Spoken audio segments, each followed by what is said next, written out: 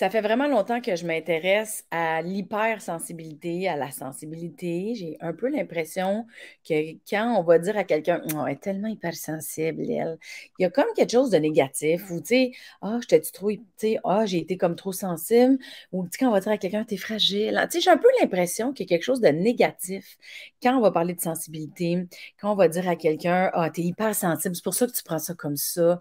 J'ai vraiment l'impression qu'il y a un jugement dans l'hypersensibilité. Puis en même temps, euh, ben là, évidemment, avec Mélanie Consulte, là, ça fait quelques épisodes que je fais quand même. On est rendu au-dessus de 70. Pour moi, l'hypersensibilité, il y a quelque chose de très lumineux puis de très beau dans ça, dans la sensibilité, euh, dans être capable de prendre, comme d'avoir de l'empathie pour l'autre. J'ai un peu l'impression que pour avoir de l'empathie, ça prend de la sensibilité et où de l'hypersensibilité? Je ne sais pas. C'est quoi la différence entre la sensibilité et l'hypersensibilité? Est-ce qu'il y en a des deux qui est plus négatif que l'autre? Est-ce que les deux sont très acceptables? Est-ce que, bon, il y, a quelque chose qui me. Je me questionnais vraiment beaucoup par rapport à la sensibilité et l'hypersensibilité. Donc, aujourd'hui, euh, vous êtes sur le podcast de Mélanie Consulte. Je m'appelle Mélanie Ganmé et j'ai envie d'aller un peu plus en profondeur là-dedans pour régler mon questionnement.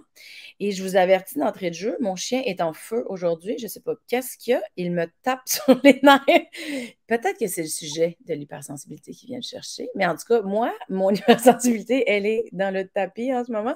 Fait qu'il va nous déranger tout le long du podcast, mais qu'est-ce que vous voulez? Enzo veut avoir sa part de végétariat dans le podcast et il l'apprend. Donc, Enzo et moi, aujourd'hui, au podcast de Mélanie Consulte, on reçoit Annie Deschaines. Annie Deschaines, c'est une thérapeute en relation d'aide. Elle est spécialisée dans l'hypersensibilité. Même que sur son site web, elle a comme un quiz qu'on peut télécharger pour aller voir euh, où est-ce qu'on se situe dans notre hypersensibilité. Bref, on vous en reparlera tantôt. Elle est conférencière, elle est autrice, elle a écrit un livre, elle va nous en parler aussi. Puis elle est très, très, très impliquée dans la communauté euh, psychologique et dans la recherche. Elle retourne aux études. Bref, je suis très heureuse de vous la présenter parce que c'est une fille que j'aime beaucoup. J'apprends à connaître tranquillement, pas vite. Et mmh. euh, ah, vous entendez déjà Enzo. Alors, mesdames et messieurs, Enzo et moi et vous, on accueille avec beaucoup de chaleur Annie Deschaines. Salut Annie. Allô, Enzo et Mélanie. merci, euh, merci d'avance de ta patience parce que je le nourris aux croquettes pour pas qu'il saute sur l'ordi en ce moment.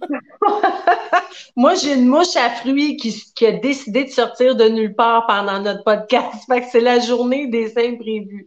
Ah, Aujourd'hui, euh, tout ce qui est euh, vie animale est très sensible peut-être à notre sujet. Écoute, c'est pile dans le mille de notre sujet. Moi, ça me fait bien rire parce que ça arrive souvent, ça, dans des entrevues, tu sais, qu'on vit dans l'expérience le sujet qu'on s'apprête à discuter. oui, bien c'est ça. C'est un grand sujet, je trouve, l'hypersensibilité. Tu sais, d'entrée de jeu, je disais que pour moi, est-ce que la sensibilité puis l'hypersensibilité, ça, évidemment, ça doit se rejoindre en quelque part. C'est bon, c'est mal. Fait, tu sais, je sais même pas par où comment. Veux-tu m'expliquer en commençant, c'est quoi l'hypersensibilité, vu que c'est ça notre thème majeur? On part avec celle-là? c'est vrai que c'est dur à, cerner, puis à saisir et à expliquer et à comprendre. Fait que, tu sais, tu pars tellement bien l'introduction du sujet parce que c'est vrai que c'est pas tangible, c'est pas concret. Puis, tu sais, je pense qu'on l'objectif aujourd'hui, c'est de mettre un peu plus de clarté là-dedans dans ce que c'est. Puis je commencerai tout de suite en disant que euh, au niveau de la science, on va mettre un gros guillemet, là, OK? On va mettre hypersensibilité entre guillemets.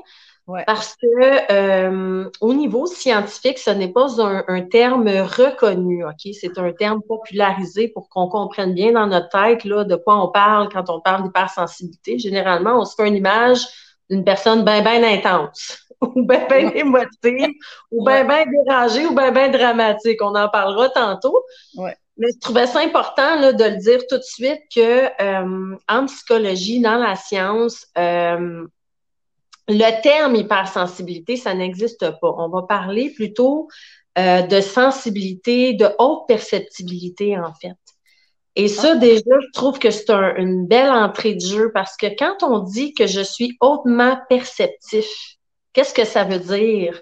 Ça veut dire que je, mes sens sont très réactifs à tout ce ah qui tourne autour de moi, mon environnement, les stimuli dans mon environnement, les sons, la lumière, les émotions, l'énergie, euh, les bas qui traînent dans le salon, Enzo qui revient toujours voir Mélanie, la mouche à fruits qui tourne autour de ma tête. Tout ça, ce sont des stimuli, OK? Dans mon environnement extérieur. Et une personne qui est hautement perceptive slash hypersensible, elle, elle va le computer, OK, là, euh, excusez-moi l'anglicisme, mais elle va le traduire dans son système nerveux et neurologiquement d'une manière très active, en herborescence. Ça veut dire qu'une personne qui est juste sensible, qui fait pas partie du 20 à 30% des hypersensibles, elle, elle va être capable de percevoir l'information puis de le gérer normalement. J'aime pas le mot normalement, mais disons d'une manière euh, adéquate. Ben, dans le sens que ça va pas l'irriter. Non, ça risque pas de l'irriter, ça risque pas de s'intensifier, de s'amplifier. Ça va être très gérable. Mais pour nous, une personne hautement perceptive, je prends ton exemple, Enzo qui revient, la mouche à fruits qui tourne autour, mon amoureux qui vient de passer en douce en arrière pour pas être vu dans la caméra. Ça, ça fait beaucoup d'informations à traiter en même temps. Et pour notre système nerveux, ce que ça fait, c'est comme une autoroute. Là, il y a bien des véhicules qui arrivent en même temps sur la route, puis à un moment donné, ça jamme, ça fait du trafic.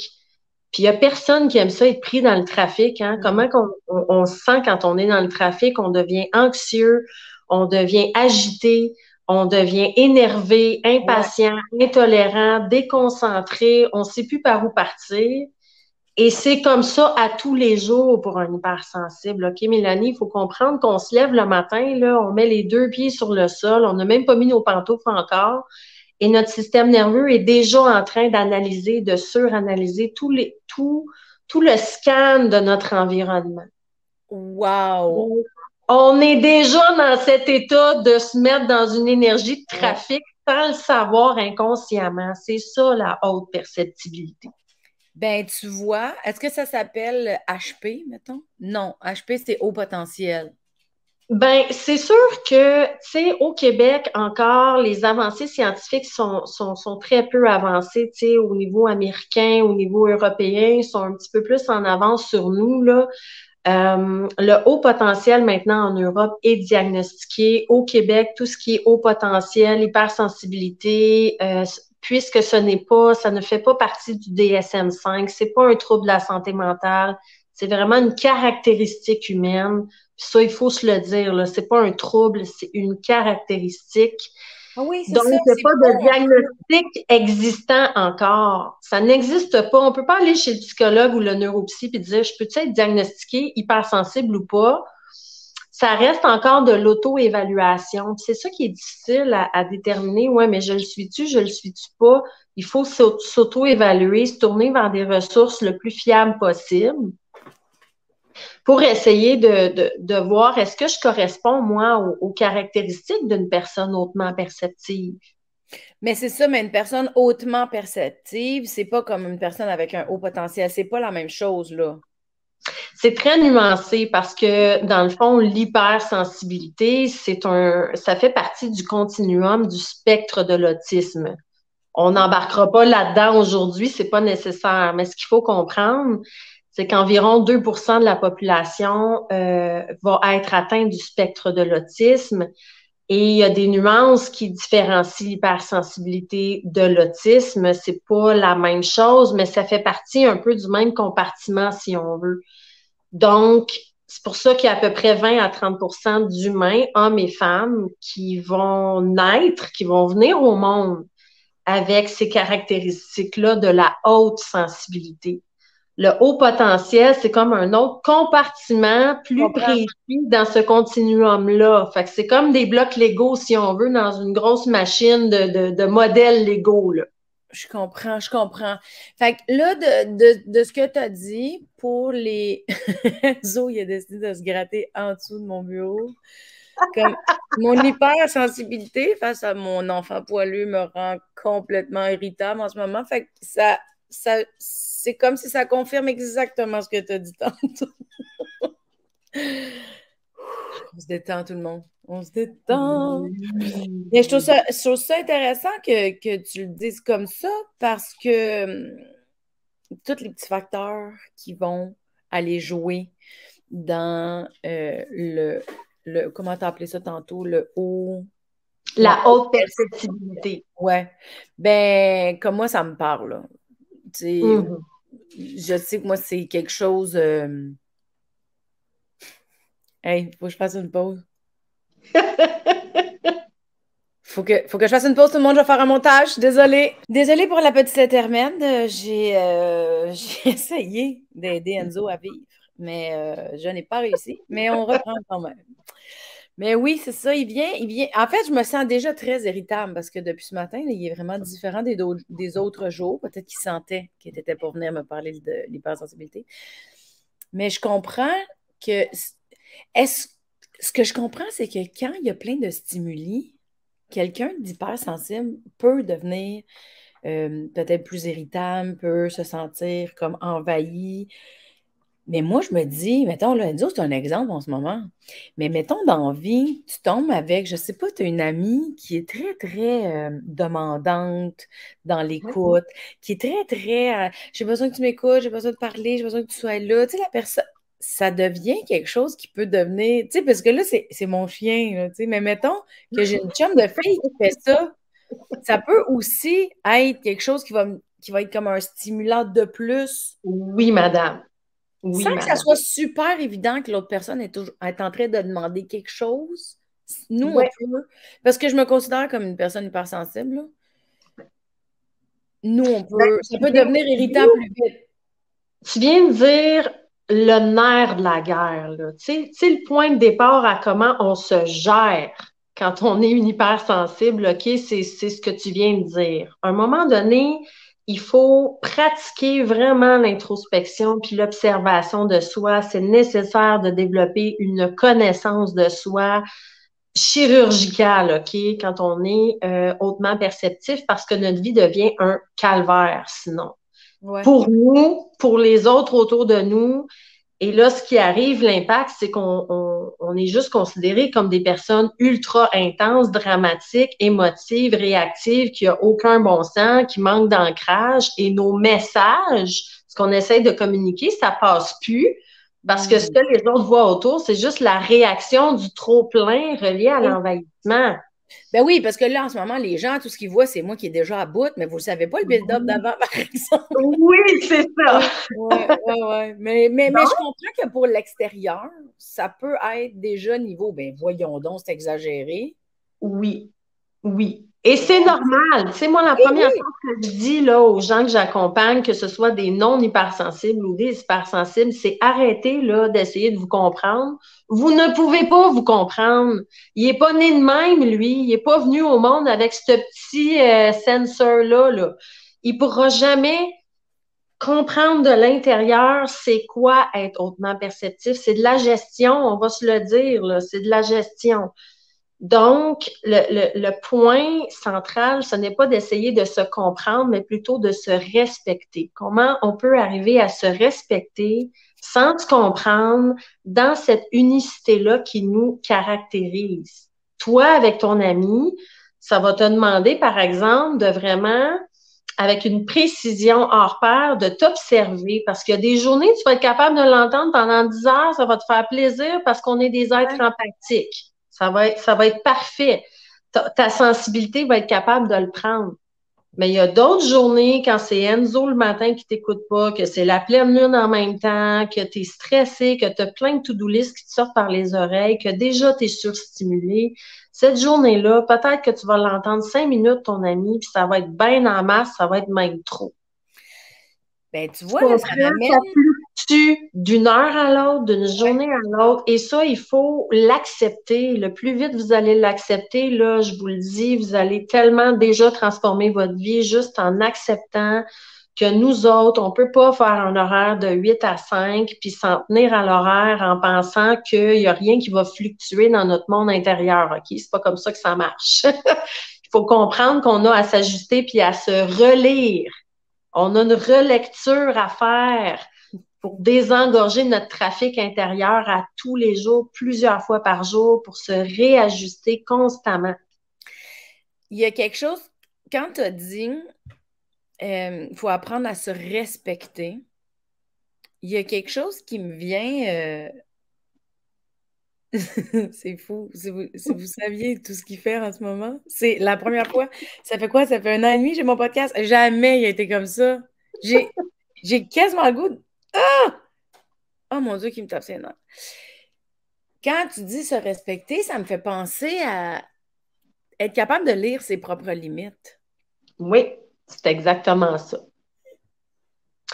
Puis j'irais même plus loin, tu si on veut, mettons, partager un truc de base à tous ceux qui écoutent ton podcast puis qui se disent oui, mais j'aimerais bien ça après le podcast, commencer à faire des pas dans améliorer ma gestion émotionnelle et énergétique par rapport à, ma sensibilité. Ouais. Tu sais, moi, ce que je, l'exercice de base que je donne, c'est de prendre une feuille, là, 8,5 par 11, divise-la en quatre va écrire tes quatre dimensions là, dans chacune des cases, tu sais, parce qu'on est des êtres multisensoriels, multiperceptifs. Donc, va écrire physiquement, émotionnellement, mentalement, spirituellement, c'est quoi tes besoins puis tes limites dans ces quatre cases-là et essaye de le faire pour aujourd'hui idéalement. Tu sais, c'est bon de le savoir dans une vue d'ensemble, mais c'est bon de le refaire à tous les matins. Moi, c'est un exercice que je fais à tous les jours. Comment je vais physiquement aujourd'hui?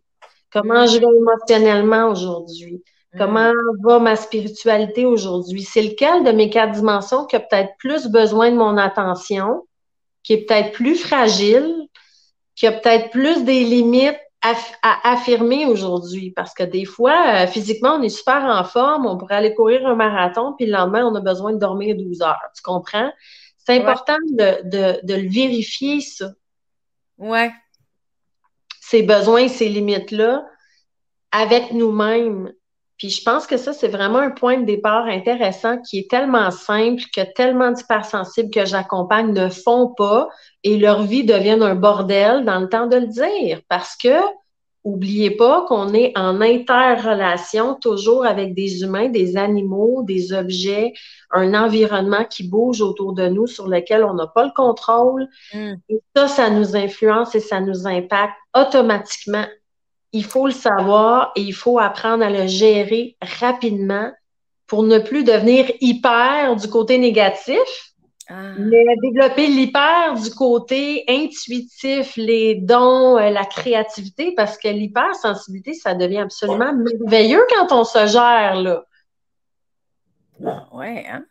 Ben, mais hein, mais hein, tu serais pas Mélanie Ganimé à faire des shows d'humour, à, avoir cette profondeur relationnelle-là dans ton podcast si ton hypersensibilité était pas là? Ça, t'amène une profondeur? Assurément, assurément. Puis c'est ça, à, force de me connaître aussi, j'ai aussi compris qu'est-ce qui était impactant dans ma sensibilité. Là, j'ai encore du chemin à faire, évidemment, mais tu sais, moi, je sais qu'il y a des vêtements que je ne peux pas porter parce que la texture du vêtement me rend. Ça, ça m'irrite, mais ça a été long avant que je le comprenne parce que je mettais du linge, tu sais, euh, je ne suis pas très fashion. moi, ça me fait, je le mets, pour passer à autre chose, tu sais. Mais un moment donné, j'ai fait Ah, je peux pas mettre cette texture-là, ça me rend irritable, on dirait. Puis si je me rends pas compte, mais c'est que ça, c'est le toucher me dérange. Il y a, si je suis à quelque part et qu'il y a un son en fond, je, suis incapable de me concentrer. Euh, quelqu'un parle puis il y a de la radio en arrière, je suis capable d'entendre la radio aussi clair que la personne qui parle. Fait que c'est comme s'il y a deux discours. Oui. Mais ça, ça me rend complètement folle parce que je suis obligée de dire à la personne il faudrait qu'on ferme la radio. En auto, je ne peux pas avoir une conversation si la radio est ouverte. Je peux pas. Et tu vois, j'irais même plus loin. Si tu me le permets, là, en me servant de ton exemple, OK? Parce que les gens te connaissent. Ouais. Une hypersensible qui s'aligne comme toi dans une profession artistique et thérapeutique comme toi, va être capable de connecter avec son public cœur à cœur comme ça. Parce que tu saisis l'humain, parce que tu ressens l'humain, parce que tu vibres l'humain, c'est naturel pour toi Donc, le lien de connexion, il, est instantané et c'est ce qui fait ta force dans ton travail. Maintenant, le, penchant difficile, c'est hmm. que tu es constamment sur stimulation. Ouais. Parce que tu es entouré de gens. Là. Les gens veulent te parler après un show. Ils veulent se prendre en photo avec toi.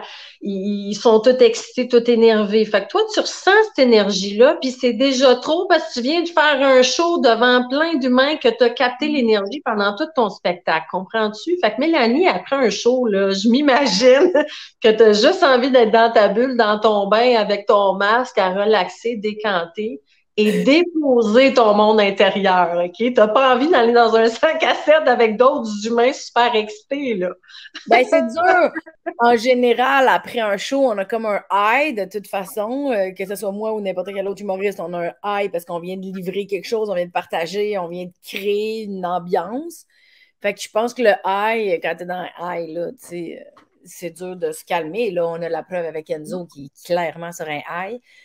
Mais mais j'haïs pas ça, mais je peux pas je pourrais pas t'offrir trois heures, mettons, après un show d'énergie, de, de, surplus, parce qu'il faut que déjà que j'aille décanter celle que je viens de créer. Ouais. Tu vois, ça, c'est un bel exemple de besoin et de limite d'un quatre corps qu'on parlait tantôt. Ça veut dire que toi, physiquement, après un certain temps, tu as besoin de te retirer. Là, c'est trop. La relation devient trop. Et là, ça devient envahissant et là, ça devient surstimulant. Et ce qu'il faut comprendre, c'est que si tu t'occupes pas de ça, le lendemain matin, quand tu vas te relever, tu vas avoir emmagasiné tout le trop-plein d'hier. Et là, ta journée du lendemain, à part bien mal. Tu sais, à part dans la surstimulation, dans la fatigue, dans l'épuisement. Et pour nous, le, le, le danger, là, c'est quand on s'épuise et qu'on dépasse nos limites constamment sans s'en rendre compte parce que c'est inconscient, on essaye de suivre le beat de la société, mais si on le, suit, le beat, on s'épuise automatiquement, OK?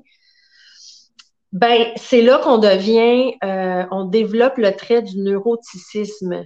OK? Le neuroticisme, c'est très, très, très, très fort chez les hypersensibles. C'est un peu le l'effet de la cause, si on veut. Puis ça, c'est le trait de caractère à devenir négatif. On devient négatif dans nos pensées.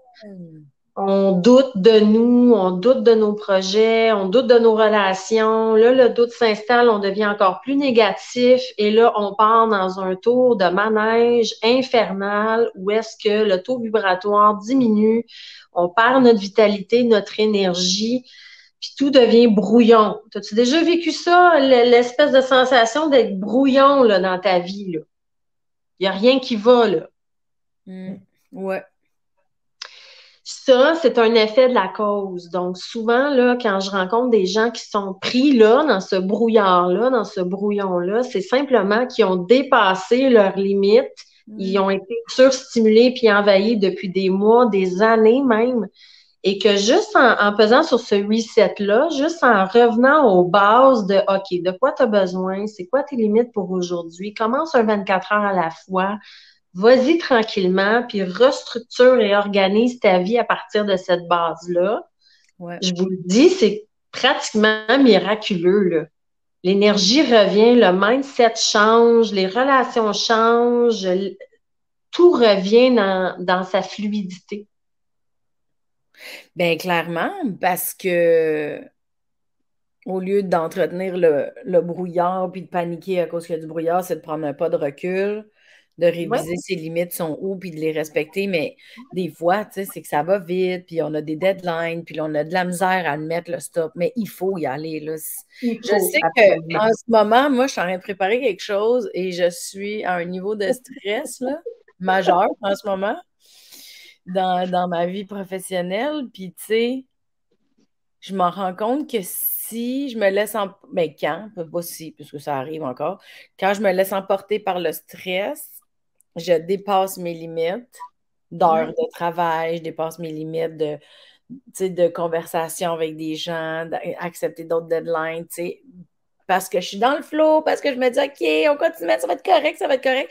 Mais c'est ça, c'est que je ne respecte pas mes limites. Donc, j'augmente mon niveau d'irritabilité. Je vais augmenter mon niveau de.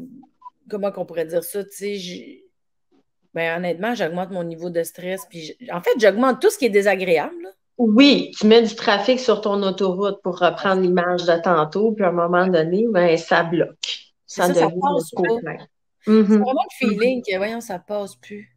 Mm-hmm, absolument. Puis, tu sais, j'en profite pour, pour saisir la, perche au vol de ce que tu viens de dire. La, la, prescription à ça, c'est de comprendre que puisqu'on est très, très perceptif et très sensible à tous les stimuli extérieurs, au stress, euh, au to-do list, euh, tout ce que tu viens de nommer, la prescription à ça, c'est de comprendre qu'à tous les jours, là, on a besoin de recharger notre système. Et la recharge, pour nous, c'est notre bulle. On a besoin de calme, de tranquillité, euh, de, de, la nature souvent, de se réénergiser avec un bon verre d'eau, aller marcher dehors, la nature. Puis c'est vrai pour tous les humains, mais c'est encore plus vrai pour nous. Prendre un bon bain, une chandelle, écouter un mantra, une petite musique douce et calme. Mais comprenez qu'on a besoin de vider tous les stimulants environnementaux, de se créer une bulle contrôlée dans laquelle on peut se déposer puis juste faire OK, là, là, je recharge mon énergie. Et ça, quand on fait ça à tous les jours, déjà, ça va contrebalancer des roches comme toi, toi, en ce moment, comme ce que tu vis. C'est de comprendre que toi, en tant qu'hypersensible, ton roche en ce moment, ça t'amène en dysfonction puis en déséquilibre. Donc, ça te demande d'être responsable de ton besoin de douceur, de ton mm. besoin de repos, de ton besoin de sommeil, de ton besoin de peut-être mieux manger, bouger. Pour aider, faire une équipe avec, euh, avec ton système nerveux puis avec tes quatre corps, finalement. C'est ça qu'on veut, faire une équipe, bâtir une relation là, de, d'écoute active entre nous et nos quatre dimensions. Là. Ça que ça devient très conscient. Oui, absolument. C'est ça. Mais tu sais, moi, ça fait longtemps que je le sais que j'ai une hypersensibilité de la peau, en tout cas, euh, puis euh, de l'ouïe. Puis quand il y a de la lumière trop forte, tu sais, je sais que, mettons, quand j'étais en tournée avec mon premier One Woman Show, quand on allait dans les salles, on, faisait le setup, là, tu sais, avant, il y a comme euh, la préparation avec les techniciens, puis moi, je disais, tu peux-tu baisser la lumière? Il dit, mais c'est parce qu'on ne voit plus. Je dis, oui, mais c'est parce que c'est trop fort. il était comme, oui, mais c'est parce qu'on te voit. Je dis, oui, mais c'est trop fort, je ne vois pas les gens. Fait tu sais, moi, jouer de même, là, parce que je ne vois pas le monde, ça me dérange. Puis était comme, mais voyons donc, on ne va pas descendre en bas de 30% ça n'a pas de bon sens, on n'a jamais vu ça. je comme, mais je vois rien, puis c'est trop fort. Bel exemple. Comment? Bel exemple. mais c'est Maintenant, je m'accepte beaucoup plus dans. Je le sais que j'ai de la misère avec la peau. Moi, quelqu'un qui, me, qui me fait ça de même pendant une minute, là, je, ne sens plus ma main, ça me dérange. Mais je le sais qu'au niveau de la peau, j'ai comme une hypersensibilité physique. Euh, je le sais que tout ce qui est trop fort, le son trop fort, la lumière trop fort, je n'ai pas 75 ans, là, mais qu'est-ce que tu veux, ça fait très longtemps que je suis comme ça. Puis ça, c'est quelque chose que j'accepte vraiment beaucoup. je sais que le monde va faire. Maintenant, je vais dire, on peut-tu baisser le son, s'il vous plaît? Là, les gens sont comme, ben oui, ma tante Ganimé va changer.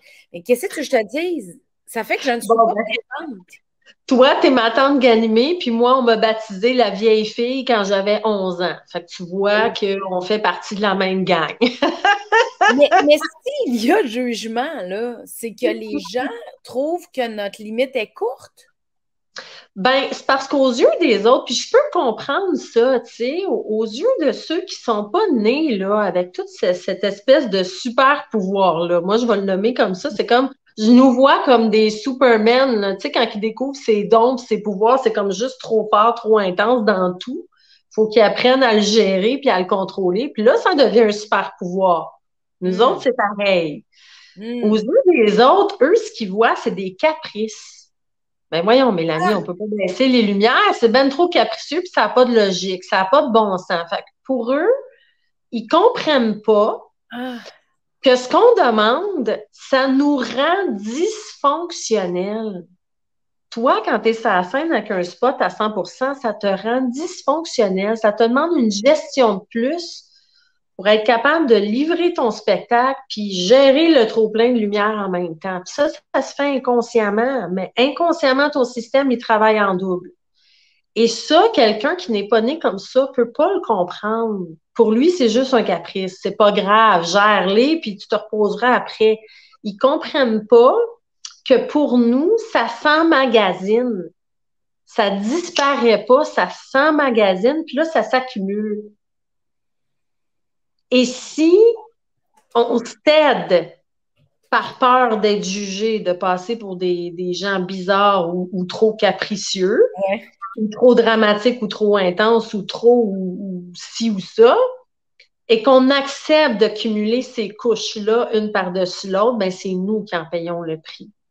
Et là, on devient explosif, on devient désagréable, on devient plus du monde parce qu'on est dans un trop-plein intérieur à gérer, puis on est encore dans le trop-plein de stimuli extérieurs à gérer. Là, c'est trop intérieurement, puis c'est trop extérieurement.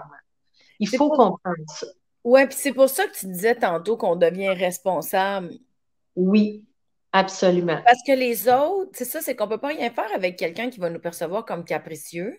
Non, on ne peut pas rien faire. La personne, elle nous voit comme on, on, peut l'assumer comme tu l'as fait. Oui, mais moi, je ne suis pas capable. La lumière, c'est trop fort pour moi. J'ai besoin. Hein, le mot-clé, c'est j'ai besoin en ce moment d'être respecté dans ce besoin-là, de diminuer l'éclairage. On peut-tu négocier quelque chose qui va être bon pour toi, qui va être bon pour moi? Oui. Et, m'assumer dans ce besoin-là, c'est là la responsabilité de s'assumer. Hmm peu importe ce que les autres vont dire, c'est pas grave s'ils trouvent ça débile que tu baisses l'éclairage à 30% L'important, c'est que toi, tu prennes soin de toi. Hmm. Donc, vois-tu le travail en psychologie à faire? C'est plus juste un travail de besoin puis de limite, c'est un travail de d'aller voir, mais qu'est-ce qui fait que tu as tellement peur du jugement? C'est tout le travail des blessures qui remontent. Il y, a, beaucoup, ça touche beaucoup, beaucoup, beaucoup de sphères au niveau émotionnel et psychologique à aller accompagner à aller transcender pour libérer cette peur du jugement-là, puis s'assumer avec responsabilité dans, ben, peut-être que je vais aller voir ton spectacle, moi, Mélanie, à deux véhicules. Parce que si mon, mon chum, lui, il veut fêter après puis aller au restaurant, ça se peut que moi, je sois pas capable de le prendre. Puis que je décide de m'en revenir à la maison. Tu comprends? Des fois, ça, ça nous ça nous demande de faire des choix qui peuvent paraître bien bizarres ou bien spéciaux aux yeux des autres. Et c'est là que ça demande un détachement, une responsabilité à prendre soin de soi d'abord. C'est tout commence par soi d'abord. Exact. Et ça demande tout un travail de sécurité. Hein? Tu sais, tantôt, quand tu disais, mais qu'est-ce qu'on peut faire avec quelqu'un qui ne nous comprend pas? Hmm. On doit aussi comprendre que notre responsabilité, là, c'est d'éduquer les gens qui ne sont pas comme nous, le 70% là, qui ne sont pas hypersensibles, il faut les sécuriser. Apprendre à leur dire, exemple, garde, en ce moment, là, je ne peux pas te parler, je ne peux pas t'écouter, mon ami, c'est mm. trop pour moi, j'ai eu une grosse journée, ça passe plus, ça rentre plus dans mon énergie. Mm. Sache que je te rejette pas du tout, c'est important ce que tu as à me dire, puis je vais prendre un moment propice à t'écouter. Ouais. Ouais. Ça sera pas en ce moment parce que je le sens dans mon corps que c'est game over. Fait que je vais aller prendre soin de moi, puis je vais te rappeler demain. Mais tu vois, moi, c'est quelque chose que j'ai déjà vécu de dire ça à quelqu'un parce que j'étais saturée, il n'y avait plus de place. J'étais plus capable de me servir de rien. Là, j'étais dans une formation qui durait vraiment genre 8 heures, j'en pouvais plus. Puis quelqu'un m'explique quelque chose, puis j'étais comme Je t'écoute pas. je, te regarde, mais je t'entends pas. Puis j'ai dit à la fille, tu mériterais que je t'écoute, mais je suis pas capable en ce moment. Je suis pas capable. Je n'ai pas les outils, là, je suis absente complètement. On va se remettre ça à demain, je suis pas capable. Mais la fille, ça l'avait super gros confronté. le lendemain, elle est venue me voir et elle m'a dit Hier, quand tu m'as dit ça, ça m'a bien gros fâché. Mais après, j'ai compris que tu m'as juste nommé ta limite puis que ça n'avait pas rapport avec moi. C'est ça, ça n'avait pas rapport avec toi. Je n'étais pas capable de te donner ce que tu aurais mérité, que je te donne comme présence humaine normale. Et tu viens de dire un autre mot-clé très important pour ceux qui t'écoutent en ce moment, c'est d'accepter d'être un déclencheur. Ça, c'est dur pour les hypersensibles, d'accepter que je vais être un déclencheur très souvent parce que je fais partie de un d'une minorité, de deux d'une minorité qui est mal comprise et mal éduquée, et de trois, ça prend du temps justement euh, fitter les deux morceaux de casse-tête ensemble. Donc, ton ami a eu la sagesse et la maturité de revenir avec toi. Mais c'est pas tout le monde qui est capable de faire ça. Fait que des fois, on reste pris dans le déclencheur de ben l'autre me boude, l'autre me rejette, l'autre est fâché, l'autre me critique, l'autre me juge, puis moi je suis comme pris avec ça. Pourtant, j'ai essayé de prendre soin de moi, j'ai essayé de nommer mon besoin, ça n'a pas passé. Puis là, je suis juste le déclencheur, tu sais, la poffine ou la méchante qui, crée quelque chose en l'autre. Puis ça hmm. aussi, c'est un autre travail de responsabilité à faire. Vous n'êtes pas responsable de ce que l'autre ressent. Vous n'êtes pas responsable de ce que l'autre vit intérieurement. Apprenez à devenir confortable dans la position du déclencheur. Le déclencheur est toujours neutre. Vous êtes une bonne intention, vous l'avez dit avec bienveillance, comme dans ton exemple. Ben, ça t'appartient plus rendu là.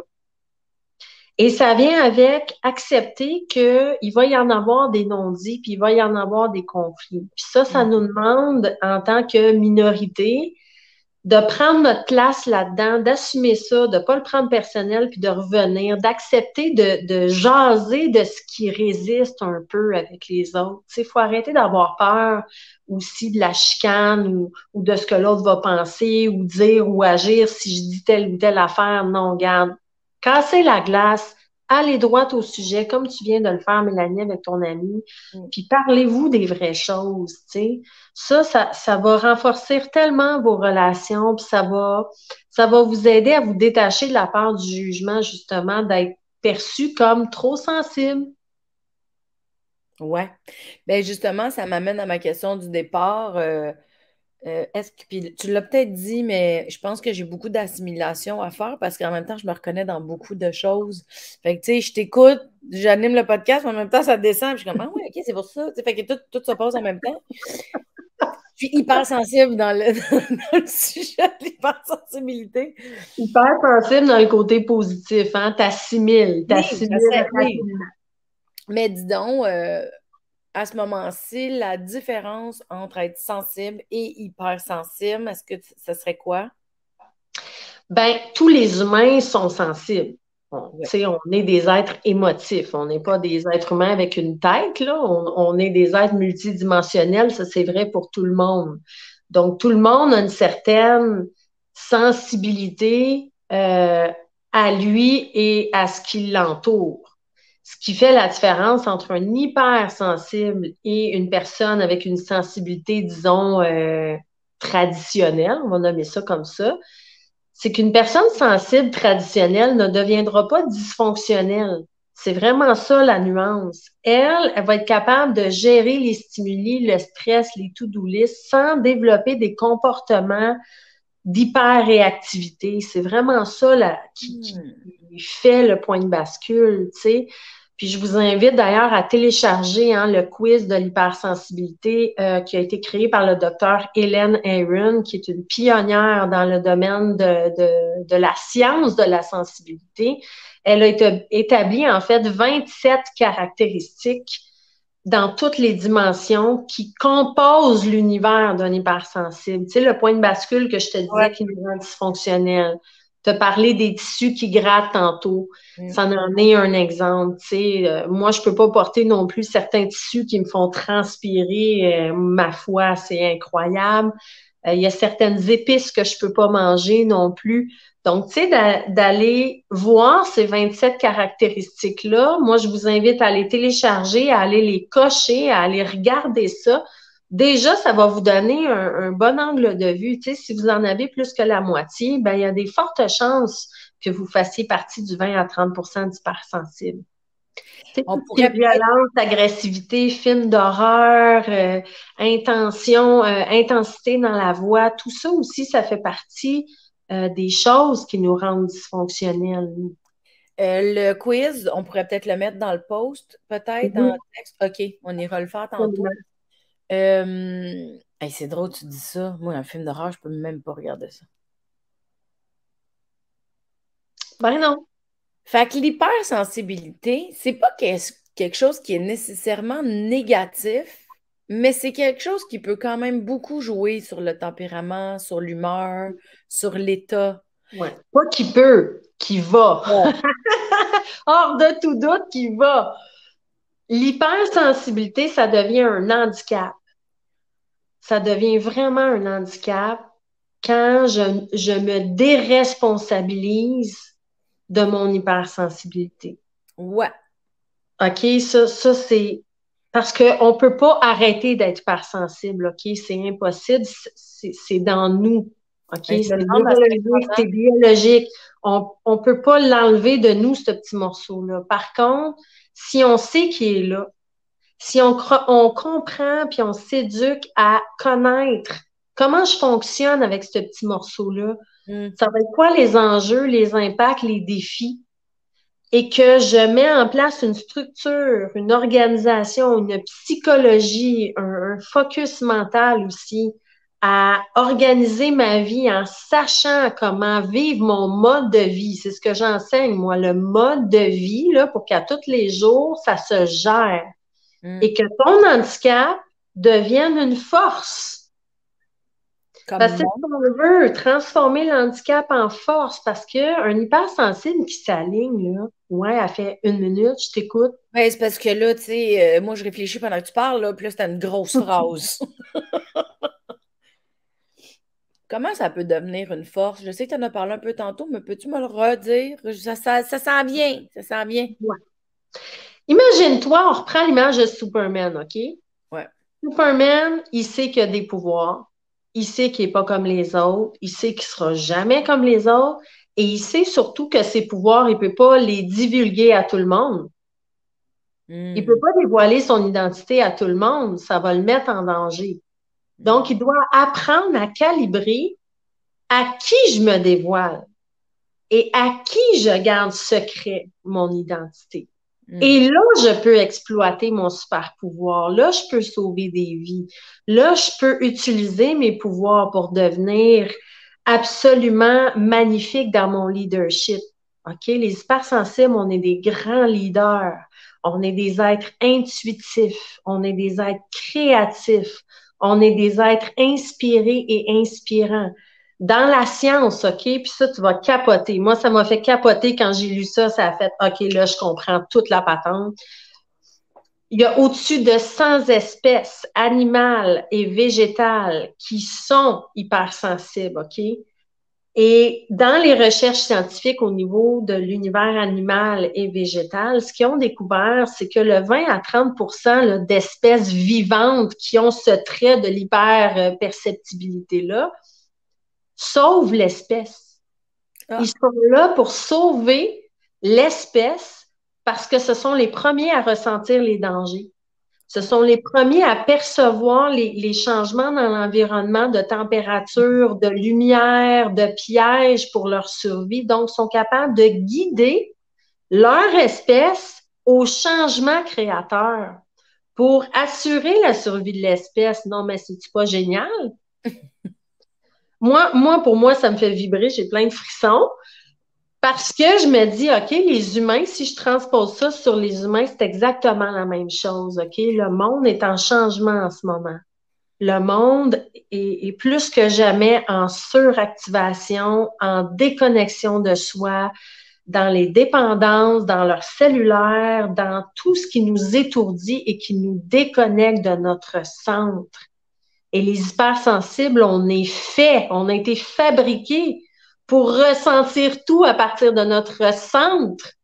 Donc, un plus un égale deux. Pour moi, nous sommes les éveilleurs du nouveau monde.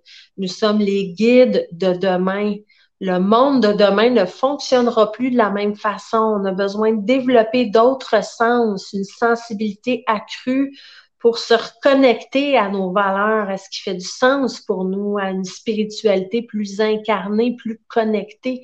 Et ça, c'est toi, c'est moi, c'est ceux qui écoutent ton podcast qui vont choisir de s'occuper de leur sensibilité, qui vont pouvoir devenir ces grands guides de demain. Mais tu sais, c'est pour ça que tantôt, tu nommais l'intuition qui était plus forte chez les gens qui ont une hypersensibilité. euh, qui est pris en responsabilité, j'imagine, évidemment. Mm. Mais c'est vrai que je comprends, parce que là, je réfère à une. Je me souviens, moi, d'être euh, sur la rue Université à Montréal et de sentir qu'il y avait un danger puis de dire, OK, je sais que je sors à gauche dans pas longtemps, mais le danger était tellement, je le sentais tellement fort, j'ai changé de voie pour la droite, puis il y a eu un accident à côté. Puis je me suis dit, ouh, utile! utile!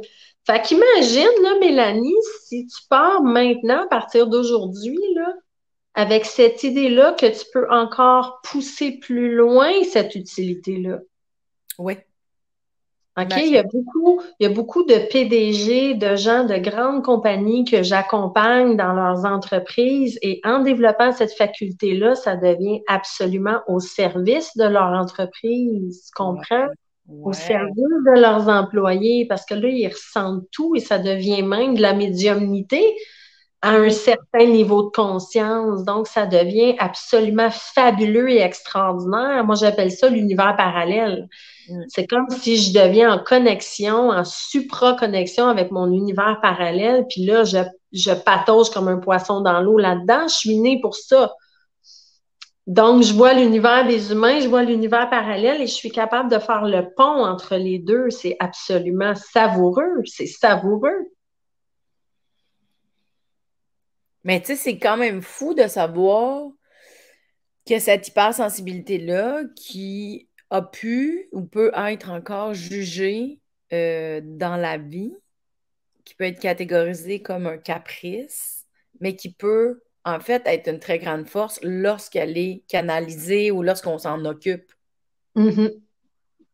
Et oui, et ça, ça fait partie sais, moi, ça, c'est quelque chose que j'ai de moins en moins de tolérance. Tu sais, on, a tous nos niveaux de tolérance. Moi, ça, ça me rend intolérante à un moment donné de dire, garde, là, dans l'histoire de l'humanité, on n'est pas les premiers et on ne sera pas les derniers, OK? C'est juste un autre hashtag euh, dans l'histoire de l'évolution du comportement humain. On va, on va se le dire, là. Ça a été les Noirs à défendre leurs droits, leur valeur, leur légitimité. Là, en ce moment, c'est les par rapport au peuple autochtone, de sortir de cette stigmatisation-là. Là, c'est l'hypersensibilité. Je veux dire, il faut, il faut regarder avec des lunettes plus élargies à un moment donné, puis de se dire, ben, toutes les minorités vont être tout le temps jugées. C'est comme ça. C'est comme ça que l'humain fonctionne mécaniquement. Il voit quelque chose de différent, il juge, il l'écrase, il tasse, il rejette, il a peur et, il développe toutes sortes de comportements à cause de la peur de cette différence-là. Puis mm. je pense qu'à un moment donné, il faut dépasser ça. Ben Moi, en tout cas, intérieurement, je suis rendue plus à un niveau de dire, ben, ben oui, tout le monde va me juger tout le temps. Tant mieux, ça me donne une occasion de, de prendre ma place en tant que guide hypersensible. Ça me donne l'occasion de me tenir debout pour ce que je suis, puis ça ouvre la porte à tous les autres qui veulent emboîter le pas parce que à un moment donné, il faut, il faut assumer ce leadership-là. Hein. Tout comme les Noirs l'ont fait, comme les peuples autochtones le font en ce moment, à enseigner, éduquer le 70% qui ne comprennent pas la minorité. Non, mais c'est ça, de toute façon, euh, les gens vont souvent juger par. Ben, en tout cas, moi, quand je juge, c'est parce qu'il y a quelque chose que je ne comprends pas ou que je ne sais pas. Mm-hmm. Mm-hmm. Euh, puis de toute façon, quand on juge, on juge par rapport à nous par rapport à ce qu'on connaît, ce qu'on est. Euh, c'est ça, la responsabilité pour moi, ça vient aussi de dire, ben, je comprends que, tu sais, justement, je, risque de vous confronter ou, tu sais, je vais être un déclencheur pour vous, mais reste que je suis quand même avec moi-même. Oui. J'ai autant de droit d'être là. Je peux pas changer, je suis comme ça. oui, c'est ça. Il y a une autre question qui me vient, Annie. Euh, on parle beaucoup des empathes en ce moment. Oui. Est-ce qu'un. C'est quoi un hmm. empath? Ben, c'est sûr qu'au niveau, euh, si je parle strictement du domaine euh, psychologique, le mot empath, ce n'est pas un mot utilisé ou reconnu. Tu sais, c'est plutôt dans l'univers de la spiritualité ou de l'ésotérisme qu'on va beaucoup entendre ce mot-là. Euh, Donc, c'est sûr qu'au niveau rationnel, scientifique, c'est pas un mot tellement valide pour décrire l'hypersensibilité, mais dans, dans mon énergie vibratoire à moi, j'aime bien ce mot-là. Parce que, euh, tu sais, dans les 27 traits caractéristiques que je t'ai parlé tantôt, l'empathie, c'est un, une des grandes, grandes, grandes, grandes forces des hypersensibles. On est très empathique aux autres et à soi-même, mais on devient trop empathique. Il faut faire mm-hmm. attention euh, à pas devenir trop empathique, à pas se perdre de vue. Donc, toute l'énergie de l'empathe, cet, cet humain-là connecté à soi, à l'autre, qui est dans une écoute, dans une ouverture à soi et à l'autre, qui ressent euh, l'amour en soi et en l'autre, la joie en soi et en l'autre. Toute l'énergie qui entoure le mot empathe, en fait, ça, ça nous ressemble énormément. Énormément. Donc, c'est pour ça que j'aime beaucoup ce mot-là, même s'il n'est pas reconnu. sais. Je pourrais pas dire que je suis une empathe, comme je pourrais pas dire que je suis une hypersensible. J'aime me dire, ben, je suis une Annie qui, qui ressent tout. Je suis née pour tout ressentir, puis j'ai envie d'embarquer dans la game de, de, de découvrir cet univers-là. Moi, ça me stimule, ça me passionne, ce super pouvoir-là. Ouais, je comprends. Ben oui, complètement. J'ai un peu l'impression que la vie n'est pas la même quand on la vit uniquement dans les stratégies mentales que quand on la vit à travers le, le senti. Oui. Tout comme trop trop d'ésotérisme ou trop de spiritualité, c'est pas aidant non plus. C'est pour ça que j'aime beaucoup les quatre dimensions parce que ça crée un équilibre vraiment terrestre, astral entre les deux. On est en business, là. oui, c'est ça. Oui, mais juste, c'est déjà un apprentissage en soi de reconnaître les signaux physiques, de reconnaître les signaux émotionnels. C'est déjà. La dimension de l'astral, c'est intéressant, mais moi, je trouve que des fois, quand on commence, c'est juste de commencer à se gager tout court, c'est déjà beaucoup, tu sais. Oui. Et c'est pour ça que, tu sais, moi, j'encourage euh, les gens à lire. Tu sais, il y en a plein de livres sur l'hypersensibilité. Faites attention de ne pas acheter n'importe quoi, mais je veux dire, tu sais, tout, tout ce qui est Hélène Aaron, Judith Orloff, Bianca Acevedo, tu sais, ce sont des docteurs très, très positionnés là, au niveau de la sensibilité. Ça peut vous amener des outils, des éclairages très importants en tant que parents hypersensibles, qui ont des enfants hypersensibles. Euh, je pense aux travaux du docteur Aaron qui, qui explore les deux dimensions, hein, d'avoir des enfants ou d'être dans le rôle du parent. Donc, allez lire euh, ces documents-là. Allez vous éduquer, vous instruire. C'est tellement important parce que si tu achètes un Apple, là, un laptop Apple, là, tu vas avoir les bons fils qui vont avec pour le brancher puis l'utiliser. c'est la même chose pour nous. Là. On, veut bien fonctionner là, dans nos relations. Il y, a, il y, a, autre chose qui me pop parce que ça m'est venu en tête cette semaine. Ça, je me suis réveillée cette semaine avec cette pensée-là. Fait que là, je suis comme en train de faire un lien avec nous aujourd'hui. Ça se peut-tu? On jase. Ça se peut-tu? Ben, je vais être obligée de l'adapter à moi parce que ça va être plus facile. Mettons là, en ce moment, comme je disais, je suis comme dans un rush, OK? Parce que ça m'est venu cette semaine, je me suis dit, aïe, je suis tellement dans le faire dans l'action, dans le faire, dans faire ci, tel euh, deadline, tel to-do list, fait ça, ça, ça. Je suis tellement dans le faire que je me sens un peu déconnectée de mon être. Puis pour moi, le senti, il est dans l'être. Le senti, il n'est pas dans le faire. Ouais. Puis je me suis levée cette semaine en me disant, va vraiment falloir que je m'arrête de faire parce que j'arrive pas à être en faisant. En ce moment, j'y arrive pas. On dirait que je me suis levée en me disant, là, il va falloir que tu respires. Parce que je suis comme. Parce qu'il y a quelque chose qui est dangereux, je trouve, quand, quand tu es dans le jus. Il y a quelque chose de stimulant pareil. Tu es comme, yeah, j'ai fait ça, yeah, yeah, yeah, performance. Wouh, wouh, j'ai fait ça, crochet, crochet, crochet, c'est que je suis de moi. Bou, bou, Mais à un moment donné, moi, j'ai, je m'en rends compte que je me déconnecte, me déconnecte, me déconnecte, me déconnecte. Fait que j'avais pas d'écrire dans tes mots. Ouais le besoin de ta bulle. Oui, oui, c'est ça. Exact. Et tu viens décrire dans tes mots à ceux qui nous écoutent comment ça se vit? Hein, tu t'es senti déconnecté, déconnecté, déconnecté. Puis oui, il y, a, quelque chose de stimulant dans la performance, dans l'accomplissement, dans les tout doux que tu fais, que tu accomplis. Puis c'est important de l'avoir, ça, dans notre vie. Sauf que là, tu viens exactement de nous dire le point de bascule entre ça me rend dysfonctionnel et là, ce n'est plus agréable pour moi. Là, je mm. suis trop dans le faire, je suis plus dans l'aide, je me sens plus, je me sens déconnectée. Mm. Tout ça, ce sont des mots qui décrivent ta bulle. Mm, c'est ça. Fait que dans le fond, c'est pas si difficile que ça en être conscient. Ce que moi, je trouve le plus difficile, vu les deadlines puis vu le stress engendré par une pause, c'est de l'apprendre. Exactement. Et c'est pour ça que je, parlais de gestion tantôt. C'est vraiment le bon mot, la gestion de vie.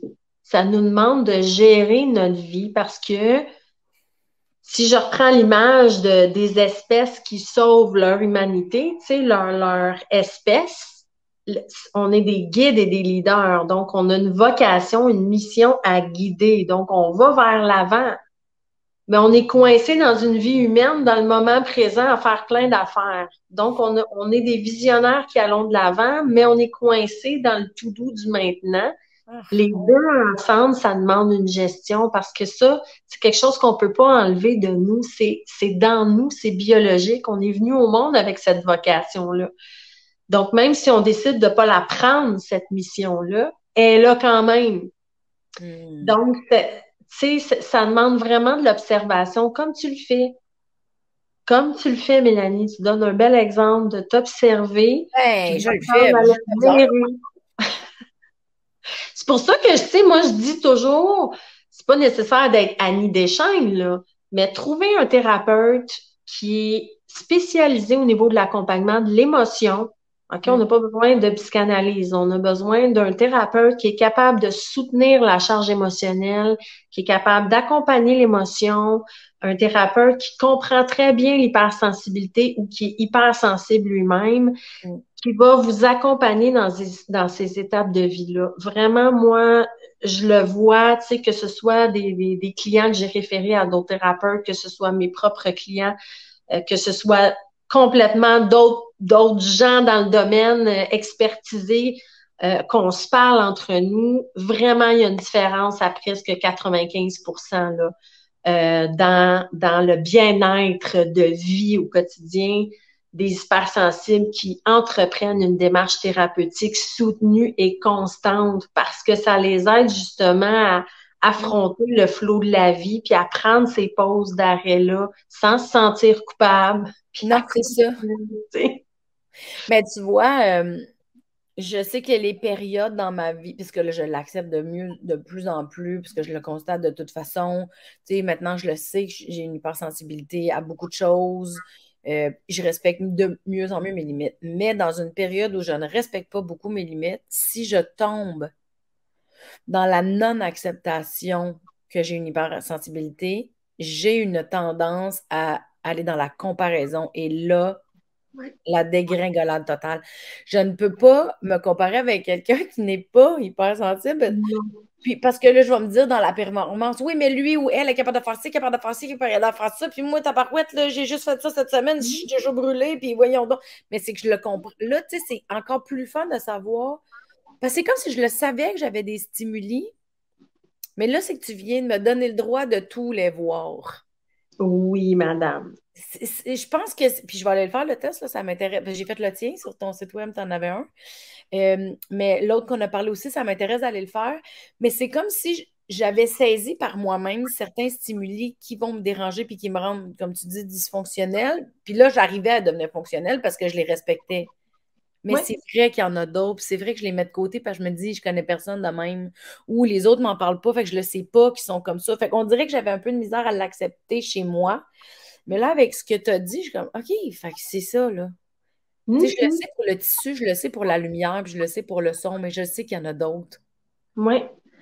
Et plus tu vas te connaître avec précision, ouais, plus ça va être facile plus ça devient facile et agréable. Tu sais, même moi, dans mes, mes programmes avancés, là, là on parle de, de, de, programmes vraiment très avancés, là, euh, on bâtit nos propres dictionnaires, tu sais, de décodage pour vraiment aller saisir même encore plus loin toutes les subtilités. Tu sais, exemple, moi, quand j'ai la gorge qui me serre ou que ma gorge commence à gratter, ça veut dire quelque chose. Donc, avant même que je ressente l'émotion, puis avant même que j'aie trouvé la limite, mon corps est déjà en train de me le dire. Ouais. Donc, on, peut développer ces outils-là avec le temps, avec la patience et la persévérance, qui fait qu'on devient des, des, des 007 de notre univers, ça devient super intéressant parce qu'après, tu sais. Ouais, je me souviens, quand j'étais à l'école de l'humour, je faisais euh, des fois de l'anxiété, puis je me rappelle que j'avais, écoute, on est en 2009, tu sais, je suis dans un cours et je, je me rends compte que je fais...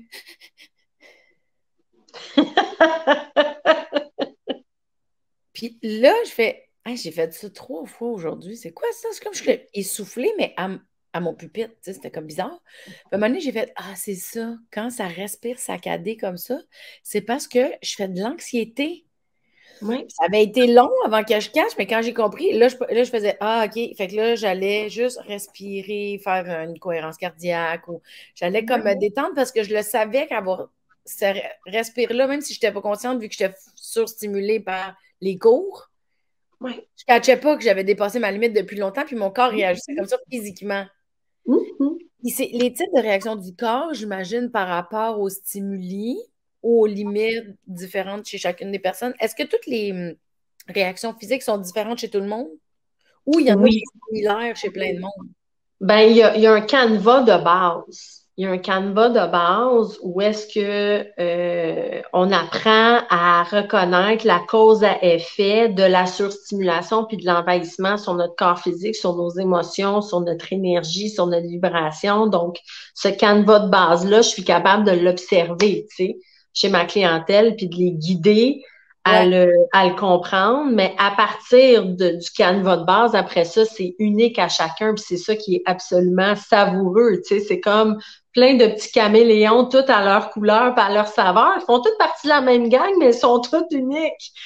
Donc, c'est beau de développer ça. Puis j'encourage vraiment les hypersensibles à se rassembler entre eux pour jaser de ces affaires-là, tu sais, du moment où Mélanie respirait saccadée, puis du moment où, où Enzo dérangeait l'entrevue au début, puis en passant, il est super calme en ce moment. Ben, là, il est tombé pass out sur le top du sofa, un endroit où est-ce qu'il... Oh, faudrait pas qu'on en parle, je pense qu'il m'entend. Mais euh, il dort, il dort, ouais. Donc, tu sais, si, je termine en disant ça, là, ne perdez pas espoir, ayez la foi, tu sais, vous éduquant, en comprenant plus ce trait, ces caractéristiques-là, en allant chercher de l'aide, en lisant, en vous responsabilisant, votre, votre monde, votre façon de vivre va devenir beaucoup plus agréable, légère, douce et stimulante, mais dans le bon sens. Mm. Euh, et rassemblez-vous entre vous. N'ayez pas peur de vous rassembler, de faire des forums, de jaser, de rire de votre gueule un peu pour dédramatiser ce trait-là aussi. Mm. Arrêtez de prendre ça comme un gros travail à temps plein. Non, ça devient le fun, ça devient agréable, propulsant quand entre nous, on se comprend. On n'a pas besoin d'expliquer de midi à 14 heures. on se regarde, puis on a compris, tu sais. Mm-hmm. Donc, développer cette complicité-là avec d'autres hypersensibles, ça va tellement vous faire du bien d'être compris dans Ah, si que je, je trouve ça le fun, Mélanie, qu'on aille marcher puis qu'on ait besoin de rien se dire, puis on se ressent, puis on tripe notre vie. Tu comprends? C'est loin d'être plate, c'est le fun pour nous autres. Au, au, lieu de s'auto-juger dans notre différence, c'est de s'accueillir puis de se donner le droit d'être différent en essayant de de l'apprendre, de le lire, de le mhm. comprendre pour l'exploiter. Oui, et que tu résumes bien ça. Hein? Main maître, main maître. on dirait que j'anime un podcast depuis un petit bout. mais Annie, euh, on n'est pas allé tant en profondeur là-dedans, puis tu sais, le temps file, mais je vais mettre les références que tu as données dans le post. Mais tu as aussi écrit un livre, euh, je ne sais pas si tu l'as avec toi, ou c'est quoi le titre de ton livre encore? Je les ai pas à côté de moi. J'en ai trois, en fait. Euh, j'ai mon, petit livre sur la sensibilité. J'ai mon livre nu aussi qui parle justement de non-jugement, de s'assumer pleinement dans ce qu'on est, dans notre couleur unique.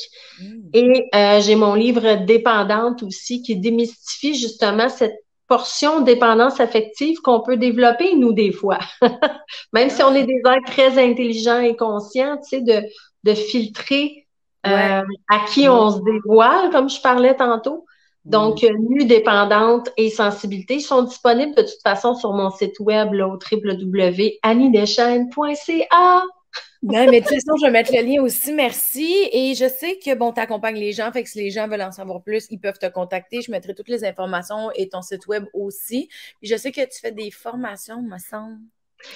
là, là, j'ouvre une méga parenthèse parce que euh, Powerful s'en vient, OK? Fait que ceux qui vont écouter là, le podcast avant que Powerful commence, ça, c'est une, une, euh, une expérience en or parce que justement, on est plein d'hypersensibles rassemblés ensemble dans un seul et même objectif, celui de transformer l'handicap en fierté, puis de mm-hmm. se maintenir dans la confiance de la fierté.